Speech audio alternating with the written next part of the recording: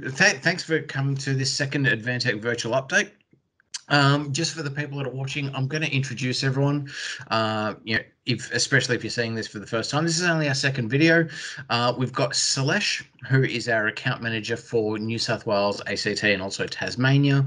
We've got Philip, who is our uh, internal sales manager for Victoria, and then we've also got Jacob McChrystal, who is our sales manager for Queensland, Northern Territory, South Australia, and also Western Australia. So, uh, you know, Jacob's pretty big on things. He pretty much looks after uh, half the country almost single-handedly. We've got a few things that we're going to cover today. We're going to be looking at what we're seeing in the market. Um, yeah, today being the 27th of October, uh, things are looking at some quite big changes across the country, hopefully. Uh, we're going to be talking about an upcoming conference, uh, a new product release, uh, some stock changes, especially in the Melbourne uh, warehouse, and also we're going to be looking at some frequently asked questions from the market. So, um, just to sort of get on with what we're all seeing, um, Philip, I just want to um, introduce uh, you know, yourself. Uh, what is it that you've actually been seeing out of Victoria over the last um, you know, few weeks? Thank you, Richard.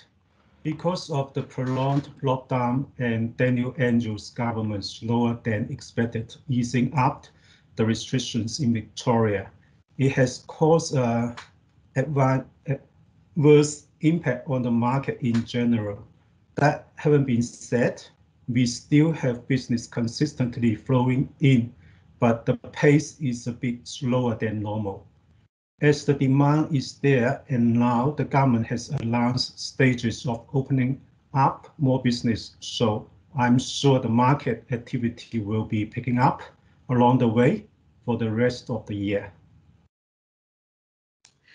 Yeah, there's there's definitely um, you know, a, a, lot of things happening right now, and especially after what happened on Sunday, and then I think you know, for me, uh, what we found out yesterday was probably a little bit uh, unexpected. Uh, it's going to be interesting to see, especially over the next few days, what the immediate change is going to be. But um, look, Victoria, um, yeah, I, I, think we're going to be seeing some yeah interesting times, uh, hopefully for the better. Uh, let let us know what's uh, going on in in New South Wales. Hey, Richard, market is doing well right now, and we are getting a lot of inquiries, not only from NSW, but also from Tasmania and Canberra. So which are coming from our existing customers as well as from channel partners, but we are also getting the inquiries from our new customers, which is a very good sign. Mm-hmm. And uh, as far as Tasmania and Canberra is concerned, uh, these tastes were consistent, but now we could see new demand coming up, and I'm really optimistic that going forward we would see new and big projects. Which I'm I'm hoping for these things here. Awesome, awesome. No, it, it's really good to hear that. Um, yeah, New South Wales is you know seeing some signs of strength. Um, so it's it's really really good news to actually sort of get that feedback from you uh, you know considering that you deal with those customers and especially most importantly the new customers that you're seeing as well um, jacob i know that you look after you know the better part of half the country almost on your own um, yeah, what are the trends that you're seeing yeah, um, luckily that the rest of the the rest of the nation hasn't really been affected by COVID, which is pretty good. Um, but yeah, the market's the market's been very strong. Um, so quite a lot of areas now are actually starting to fully reopen. I know that WA is about into the phase five, which means that a lot of businesses are fully going back to operations. Um, so in the market trend, I'm actually seeing a lot of people get into IoT gateway stuff. Um, so that includes our Wise um, 4.4 series. Um, and also a few other companies are starting to more interact with the SIs and actually starting to fully go through there, which is really great to see because it means that you know we continue our relationship with our system integrators throughout the nation, which is great. Excellent. Excellent stuff, especially with the, the, the strength of the integrators, um, you know, coming through. So, um, team, thanks a lot for your feedback. Um, it's it's really really good to you know be able to capture what you're seeing directly from the market and you know make that available to other people out there. So the next thing that we're going to be looking at is that we've actually got a um, upcoming uh, what we call the Advantech Intercontinental Partner Conference. Now that's going to be running over um, at the moment. It's scheduled for around about six days. Um, over the period of the 23rd through to the 25th of November. Now, just before that starts getting questions and comments about how it doesn't make sense, um, over the first three days, that's where really all of the actual conference material is going to be delivered, uh, with the second three days basically being all about one-on-one sessions and networking amongst uh, product managers and other companies. So at the moment, what we've currently got right now on the schedule is on the 23rd of November, which we think is the Monday. I think it's the Monday. Um, we're going to be looking at basically the opening sessions. Tuesday and Wednesday are going to be to do with keynote um, yeah, topic speeches, as well as two and three uh, workshops amongst different product uh, groups as they happen. There's going to be a lot more detail about that coming out, so hopefully we'll be able to get that through to you, um, you know, over the next few weeks as well. Um, so that's the upcoming that's the upcoming press uh, partner conference that's going to be happening in November. Um, as per what we did last time, we want to introduce a new product to you. Now, the product that we're going to be looking at this time round is going to be the FPM 200 series screens. Um, there should be a we'll make sure that there is a data sheet link uh, in the comment section of this video. Uh, but looking through the FPM 200 series, uh, we're not going to put it on screen for you right now, but Salesh, uh, yeah, what stands out about this screen to you? Hey, Richard, there's a FPM 200 series which has been recently introduced in our offering. It mm -hmm. comes with a lot of features and I would like to highlight a few of them here like uh, these units are IP66 rated which means they are protected from dust and water mm -hmm. and uh, it also comes with three video ports namely HDMI, VGA and DP and the third thing which I would like to mention here is that these units can be panel mounted and also they have desktop and VESA mounting option. Mm -hmm, mm -hmm. Yeah, awesome. Now they're they're really really good points, Salesh. So um, Philip, I'm, I'm going to ask you next. You're you're muted, mate. So um, I'll ask you to unmute yourself. What, what's your feedback about what makes the FPM 200 series um, stand out to you?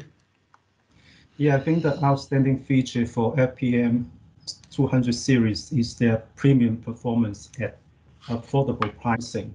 The mm -hmm. reason that we could achieve this is through global marketing strategic efforts and also the simple principle of increasing quantity to mm-hmm. reduce mm -hmm. cost in production.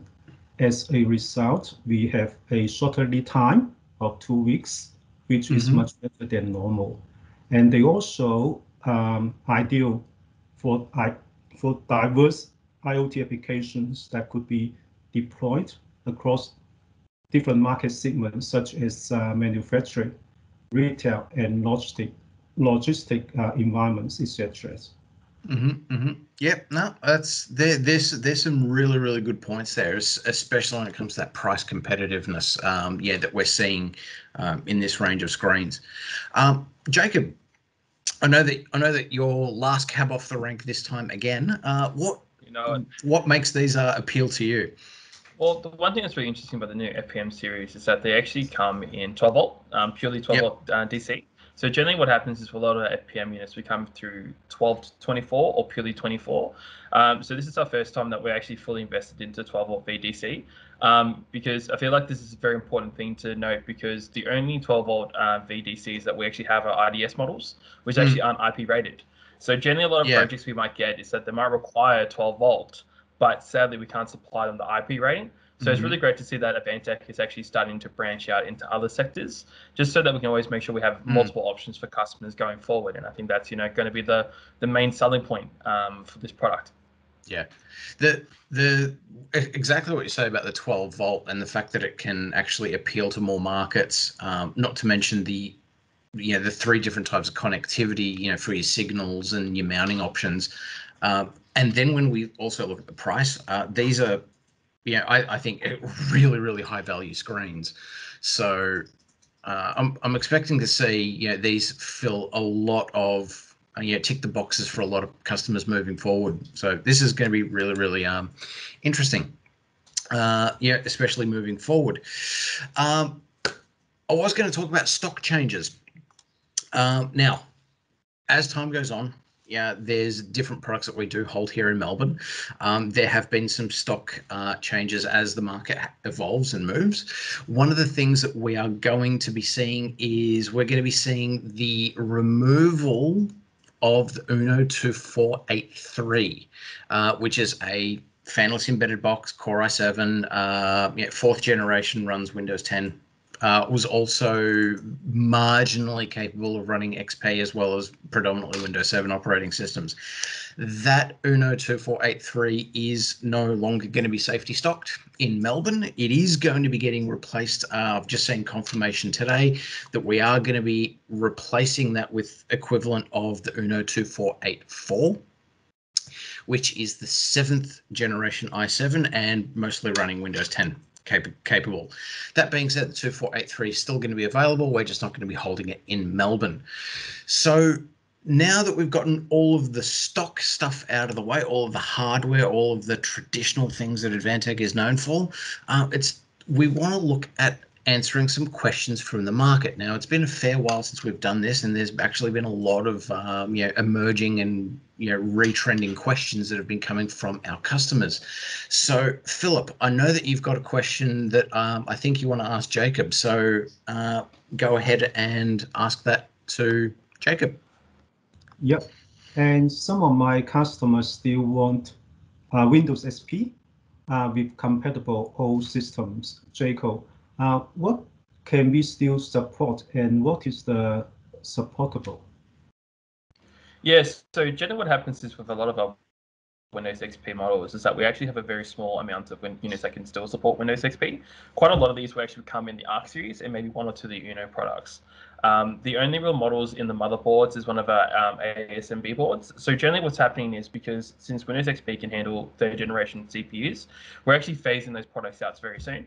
So generally what we're suggesting to, or I'm suggesting to a lot of my customers is, is that they actually either go the Windows 10 option and downgrade XP, which is what can happen with a lot of the sixth and seventh gen models, or just accept the fact that sadly, you know, Windows XP is about 15, 18 years old now, and that it's slowly time to hmm. start, mm. you know, pricing for Windows 7 or Windows 10. Um, but you know, it, it just depends on circumstances because some software that customers have still rely on XP, but at least we still have maybe three or four options for them. So it's generally just something that I could just send you through some data sheets of some models if you like. Yep, no, I, I think that's actually really, really well said there, Jacob. Um, unfortunately, XP, as good as it was, um, you know, it is starting to run out of time, and know, we do have to all move forward. Um, that being said, I do have uh, I have noticed a question that's come up a lot, uh, especially in the online chat. So Salesh, um, th- this is this is one that probably uh, know I, I want you to sort of be able to answer for us. Is that there's been questions regarding the security uh, features that can run on the ADAM range, particularly the ADAM 6000s.